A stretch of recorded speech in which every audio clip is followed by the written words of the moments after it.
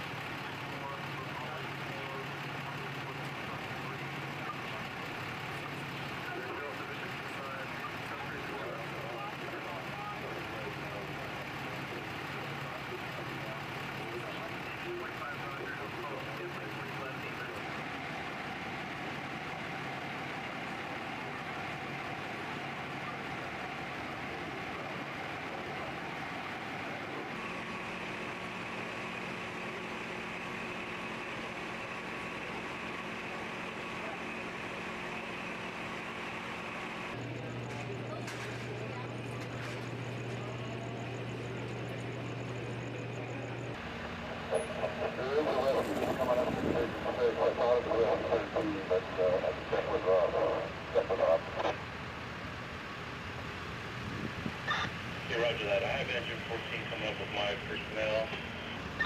Engines and engine 17 good. Engine 17, you've been assigned to Division 3.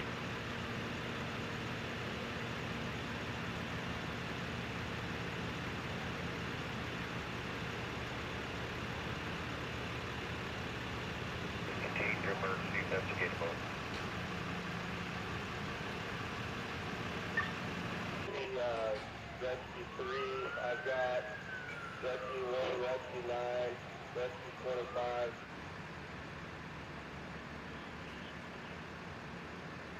Five to operation, but we now have two patients only, not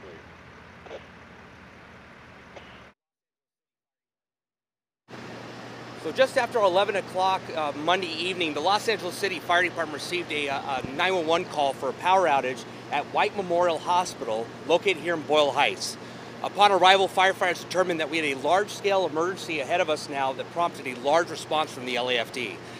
Their south, excuse me, their tower that specializes in NICU, OBGYN, and specialty in rehab completely lost power.